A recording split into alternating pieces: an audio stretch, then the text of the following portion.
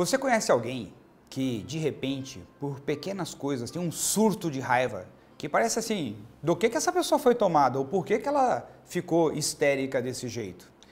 Ou uma outra pessoa que de repente esteja vivendo relacionamentos que estão sendo dolorosos, mas mesmo assim a pessoa continua se subjugando, aceitando esse tipo de relação e não consegue se posicionar e colocar um ponto final. Ou uma outra pessoa que por medo acaba ficando paralisada e não coloca em prática, por mais que a sua ideia seja brilhante, o seu projeto seja brilhante, as ações que precisam para viver a vida extraordinária que poderia viver. Ou ainda, alguém que fica admirando em outras pessoas as habilidades que elas possuem, a desenvoltura que elas têm, a capacidade de realização que elas possuem, mas que não reconhecem em si mesmo essas mesmas capacidades? Vídeo de hoje eu quero apresentar para vocês os dois tipos de sombras e como nós podemos resolvê-las em nós.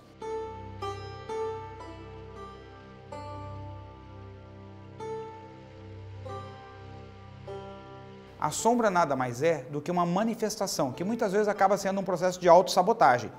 Por exemplo, se eu tive uma marca na minha infância muito forte de dor, é, por alguma coisa que me aconteceu, a partir de então, esse medo que isso volte a acontecer novamente cria uma sombra. Que todas as vezes que, por exemplo, vamos supor que na minha infância eu vivi uma situação que eu queria fazer algo, um jogo de futebol com os meus amigos, ou em uma atividade física, um salto de bicicleta, e aí eu fracassei na frente de todo mundo, fiquei extremamente envergonhado e humilhado com aquilo. O que, que acontece? Depois, como adulto, qualquer coisa que coloque em risco ser fracassado, vai vir aquele, vem aquele medo e eu acabo não fazendo. Como, por exemplo, ser promovido, eu acabo dizendo não para promoções, eu acabo dizendo não a projetos que vão demandar de mim um aprendizado, um certo risco. Por quê? Porque lá profundamente, inconscientemente, existe um medo que um dia eu fui humilhado, envergonhado. Então, para não sofrer aquela dor novamente, eu fico então negando, me sabotando, me protegendo de todas as situações que possam me levar a viver a mesma coisa. Então, isso é a sombra. A sombra é aquilo que nos impede de, de vivermos uma vida plena. Então, são dois tipos de sombra: a sombra dourada e a sombra escura. A sombra escura é a sombra que vem do medo. A raiz da sombra escura é o medo. E o medo se manifesta em raiva, paralisia ou fuga. É, então, quando isso, isso é para qualquer ser vivo. Né? Na hora que a gente tem uma marca de medo diante daquela situação, ou vem uma raiva, um ímpeto que eu não sei de onde vem aquela fúria diante daquilo, ou vem né, uma fuga, ou seja, eu sinto aquele medo, aquele pavor e acabo fugindo daquela situação, ou uma paralisia. Eu fico literalmente paralisado e não consigo agir, me posicionar, dizer sim, dizer não, tomar decisão e fico procrastinando e enrolando uma situação, paralisado naquilo meses, às vezes anos de uma vida inteira. Então veja, é primordial resolvermos as nossas sombras para que a gente possa naturalmente ter uma vida mais plena. Transformar a sombra em luz é o principal trabalho de todo ser humano. Porque o que nos impede de ser feliz não é o que falta do lado de fora. Não é ter a casa, não é ter o carro, não é ter dinheiro, não é ter o corpo do jeito A, B e C. Mas o que nos impede de construir tudo isso são as nossas sombras. Muitas vezes as pessoas sabem exatamente o que precisam fazer, só não fazem, porque elas são bloqueadas pelas suas sombras. Gilberto, você falou de uma sombra dourada, como é que é isso? Bom, a sombra dourada é quando você admira em outras pessoas capacidades, habilidades e condições, mas não reconhece isso em você. Vou dar um exemplo para você. Quando eu era bem jovem, eu admirava assim atletas, músicos. Aí eu vi um músico tocando maravilhosamente bem, eu queria aprender a tocar aquele instrumento também. Aí eu vi um atleta jogando muito bem, se destacando, eu queria naturalmente também jogar aquele esporte. Então eu, eu, tinha várias paixões, era só ver alguém que tinha uma incrível habilidade de fazer algo que eu ficava me imaginando também sendo capaz de fazer a mesma coisa. Não sei se para você, você chegou a viver algum momento isso na sua vida. E aí eu fui crescendo e, e, naturalmente amadurecendo, e isso continuou, só que com algumas personalidades, ou seja, algum, algumas pessoas, alguns profissionais que eu via, nossa, eu queria ser como essas pessoas, mas ao mesmo tempo eu não dava nenhum passo na construção de desenvolver aquelas habilidades. Então eu vivia me, me identificando com algumas personalidades, algumas pessoas que eu admirava muito, mas eu não via em mim as mesmas condições. Eu dizia, bom, mas nós somos diferentes, nascemos em lugares diferentes, tivemos oportunidades diferentes, então isso chama-se sombra dourada, ou seja, você reconhece a capacidade nas pessoas, mas não se vê capaz de fazer as mesmas coisas, porque a sombra te impede de reconhecer em você as suas capacidades. Aqui eu quero abrir um parênteses e dar uma dica. Presta atenção no que eu vou te dizer aqui, porque isso é muito importante. Tudo que você admira em qualquer pessoa, absolutamente tudo, é porque em você tem o potencial de fazer a mesma coisa. Agora, com o passar do tempo, o que, que eu fui descobrindo? Por que, que eu admirava aqueles atores, músicos, é, atletas, pessoas do meu convívio, empresários? Na verdade, o que admirava era eles expressarem a capacidade deles. Não era, por exemplo, eu vi um cara tocando viola e eu ficava encantado com aquilo, falava, nossa, eu podia aprender a tocar viola também. Na verdade, no começo, parecia que o que eu queria era fazer o que essas pessoas estavam fazendo. Mas depois eu descobri que não é isso. O que eu queria era me expressar com excelência como aquela pessoa se expressava. Era fazer algo que eu pudesse fazer tão bem feito que eu tivesse aquela satisfação no olhar, no sorriso que aquelas pessoas tinham. Depois que eu descobri isso, tudo ficou mais fácil também. Quem sabe isso pode ser uma dica para você também. Você vai lá, bom, Gilberto, entendi. Então, a dica dourada é aquilo que eu reconheço nas pessoas como uma incrível capacidade que eu também gostaria de ter, mas eu não reconheço essas capacidades em mim. Exatamente. Agora, como transformar a sombra dourada ou a sombra escura? É, é preciso fazer uma transmutação dessa sombra em luz. Como fazer isso, Gilberto? Bom, primeiro passo é reconhecer as sombras. Eu tenho que começar a reconhecer né, que eu tenho essa sombra. Eu, eu, eu, eu gosto muito do ditado que é o seguinte: na medida que o louco reconhece a loucura, começa a cura do louco. Então, na hora que eu posso olhar e falar assim, nossa, olha só, eu admiro essa pessoa, admiro o que ela faz, mas eu olho para mim e não vejo em mim a condição de fazer o mesmo. Isso é uma sombra que eu tenho, ou seja, eu não estou conseguindo enxergar a minha própria capacidade. Se eu enxergo a capacidade no outro, mas não a enxergo em mim, é porque tem uma sombra impedindo isso. Aí, só de reconhecer isso, eu dei o primeiro passo. Pode ser uma sombra escura, ou seja, diante de uma determinada situação, alguém faz um comentário, uma crítica sobre o meu trabalho e vem uma raiva, uma fúria. Eu não falo nada, mas dentro de mim eu estou com vontade de pular no pescoço daquela pessoa e morder na jugular dela. Mas eu não demonstro, mas dentro de mim aquilo está fervendo. Aí eu olho e falo assim: olha, isso aqui é manifestação, essa raiva de uma sombra. Pode ser uma vontade de fugir de uma situação de perigo, ou seja, surgiu um baita de um problema e eu queria desaparecer, eu não queria mais viver, eu queria morrer, eu não queria mais estar ali. É medo, e esse medo, essa fuga, essa vontade de correr da situação é uma sombra. Então, o que, a gente precisa? Se flagrar no dia a dia, quer seja na sombra dourada ou na sombra escura. Em todas as situações você fica paralisado, não toma decisão, não se posiciona, sabe? Você fica travado, é uma sombra. Então, assim, ó, reconhecer, primeiro passo. Segundo passo, uma vez que você tenha reconhecido, você tem que analisar isso, refletir sobre isso, acolher a sombra, sem se identificar com ela. Explica um pouco mais isso, Gilberto. Já vou te explicar. Significa assim, ó, eu estou numa situação que eu vi o meu medo se apresentar. Na hora que o medo veio, eu olho e falo assim, ok, isso é uma sombra. Só que essa sombra é fruto de uma programação, essa sombra é fruto de uma história, de uma experiência, de uma memória armazenada nesse corpo, chamado Gilberto.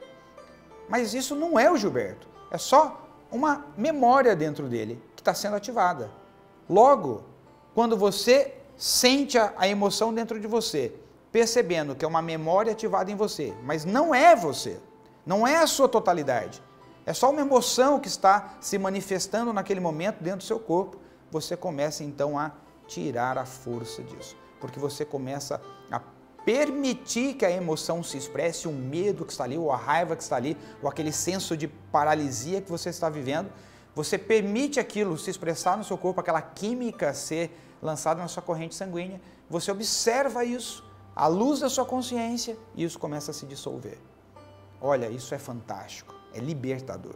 Cada vez que você estiver vivendo uma experiência de medo, paralisia, raiva, você deixa aquilo se manifestar sem se identificar com a emoção nem com o que está acontecendo. O que aconteceu disparou uma memória dentro de mim, mas isso não sou eu. Nem o que aconteceu, nem a memória. E deixa a química ir perdendo a potência. Com o passar dos minutos, ela vai perdendo a força até que ela se vai. Terceiro e último passo para você fazer a transformação, quer seja da sombra dourada ou da sombra escura. Você começa a construir o novo. Começa a construir. Você começa a desenvolver novas habilidades e novas capacidades na direção daquilo que você sente que pode manifestar, que pode se expressar. Eu vou pegar aqui um exemplo que trabalha as duas sombras ao mesmo tempo, só para elucidar na sua mente você assistir um filme. O que aconteceu comigo? Vou te dar o meu exemplo pessoal. Houve um momento na minha vida que eu tinha pavor de falar em público. Né? Hoje eu falo em qualquer lugar, para qualquer plateia e não sinto nenhum friozinho na barriga. Absolutamente nada, zero. Mas nem sempre foi assim. É a primeira vez que eu tive que falar em público, a pior de todas foi uma reunião de pais. Eu fui dar aula para a escola, numa escola agrícola, para crianças de quinta, oitava série, depois do primeiro ou terceiro colegial. Eu, a primeira vez que eu entrei na sala de aula para falar com as crianças de quinta série, eu tremia. Pra você ter uma ideia, o nível de dificuldade que eu tinha de falar em público, estava falando para crianças. E mesmo assim, eu estava apavorado. E, mas o maior pavor foi quando eu tive que fazer a primeira reunião de, de pais e falar para os pais. Por dentro, meus músculos tremiam todos. Então, veja, por quê? Porque eu tinha medo de falar em público, ou seja, ativava uma memória em mim de incapacidade, de não ser suficiente, de de repente não ser aceito por aquelas pessoas, de mostrar as minhas fraquezas, seja o que for que eu tenha vivido na minha infância. Então, eu vou, obviamente, na época eu não tinha os recursos que eu vou te dar agora. Né? Hoje eu tenho e fui trabalhando essas memórias depois com base nesses recursos, mas na época eu não tinha. Então, se eu tivesse que ajudar o Gilberto hoje nessa situação, com o conhecimento que a gente está vendo aqui nesse vídeo. Primeira coisa, eu perceberia que eu estou tremendo e iria olhar, olha só, isso é medo. Estou com medo de falar para os pais dos alunos. Olha como meu corpo fica, olha como minha respiração fica, olha meu batimento cardíaco, olha como eu estou suando nas mãos. Tudo isso é medo. E esse medo é porque alguma memória da minha vida foi ativada. Algum momento eu vivi alguma coisa que deixou esse medo registrado dentro de mim. E aí eu ficaria observando isso e deixaria esse medo ali, eu iria respirar calmamente, simplesmente consciente, que é uma memória se manifestando, fruto de um cenário, que são adultos me observando. E aí eu iria pensar assim, olha só como que essa memória tem potência dentro de mim. Olha como ela é forte. E ia ficar com ela até ela começar a se dissolver. Muito bem. Uma vez que eu começasse a perceber que eu tenho que falar em público e eu já começo a me sentir muito mais confortável, chegou a hora agora de eu começar a transformar, incluindo habilidades para falar em público. Então agora eu preciso começar a aprender a me posicionar, a falar com as pessoas, eu tenho que começar a aprender a organizar a minha apresentação, ou seja, ter uma abertura, ter o miolo, que é o, o que eu quero comunicar, e depois um fechamento. Enfim, eu preciso aprender algumas técnicas para que eu possa falar em público com mais desenvoltura. Então, para todas as coisas que você tem que trabalhar dentro de você, todas as sombras, sempre serão esses passos. Primeiro você tem que reconhecer a violência, a maldade em você, o medo, o medo de não ser amado, o medo de não ser aceito, o medo de ficar sozinho. Tem que reconhecer o medo. Reconhece o medo. Reconhece que você tem ele, que ele está aí dentro. Dois, fica com ele. Experiencia isso. Mas perceba que é só uma memória dentro de você. Assim como uma memória que existe hoje, amanhã você pode ter outra. É só uma memória que está se manifestando por causa de um cenário na sua vida. Três, Consegue ficar confortavelmente com essa sensação? Comece a construção de um novo você reagindo diante disso. Então, em outras palavras, você identifica que tem um problema, aí você pode procurar terapia, depois um coach para desenvolver as habilidades que você precisa. Né? A terapia, por vezes, te ajuda a trabalhar as memórias e o coach trabalha você desenvolver as, desenvolver as capacidades que você precisa para lidar bem com aquela situação que antes era desafiadora para você. É assim basicamente que funciona. Ao longo desses 20 anos eu tenho trabalhado com muitas pessoas fazendo esse processo. Né? Você fala, Gilberto, eu quero começar agora. Por onde eu começo? Bom, nós temos um curso chamado Maestria Pessoal. São cinco dias, uma imersão em um hotel fazenda, só olhando para dentro, identificando sombras e aprendendo a transmutar todas elas. Você pode falar, Gilberto, eu não posso fazer o curso agora, eu não tenho disponibilidade financeira ou de tempo. Também tem outras opções no mercado, mas eu queria te dar opções práticas de qualidade que você pode adquirir. Existe um livro traduzido no Brasil chamado A Prática de Vida Integral. Este livro aqui, ó. Esse livro fala da sombra dourada e da sombra escura e dá várias dicas do que fazer no dia a dia para você resolvendo isso. Então, se você quiser, tá aí uma forma de começar. O autor, os autores trabalham com Ken Wilber, é um cara muito legal, um dos maiores pensadores contemporâneos ainda vivo nesse momento que eu estou gravando o vídeo. E é um cara que é um dos autores americanos mais traduzidos no mundo. Né? Ele é considerado o Albert Einstein da era da consciência. Então está aqui conteúdo muito legal. Se você é, consegue ler, ouvir em inglês, compreender bem inglês, do mesmo autor tem um kit né, um kit de prática de vida integral que você pode adquirir. Tem CDs, DVDs, livros com exercícios, tudo para você trabalhar sombra dourada e sombra escura e construindo uma vida mais integral. Então, de muitas coisas que eu já li, cursos que eu já fiz, eu indicaria um trabalho consistente, coeso de alguém que reuniu as melhores teorias do mundo. Está aqui para você que você pode adquirir aqui, ou no caso do material em inglês, você adquire no site do Instituto Integral Direto né, e compra. No caso do kit aqui, do livro em português, você vai em qualquer livraria e já pode comprar hoje mesmo se você quiser começar a sua leitura. Mas o importante é você perceber o seguinte: o que pode impedir você de ter uma vida plena são as suas sombras. O mundo das sombras é aquilo que impede você de viver ao máximo as suas potencialidades. Por isso, vale a pena todo o seu investimento de tempo, energia e inteligência nessa direção. Porque se trata de como você vai experienciar a sua vida. Reflita sobre as suas sombras ao longo dessa semana. Fique atento a cada momento em que uma sombra é tocada. Comece a percebê-las e, e lembrar: isso é só uma memória que foi ativada dentro de mim. Fique com a química. Mesmo que você ainda não comece a construir um novo você, o simples fato de deixar de fazer um antigo já é uma nova construção.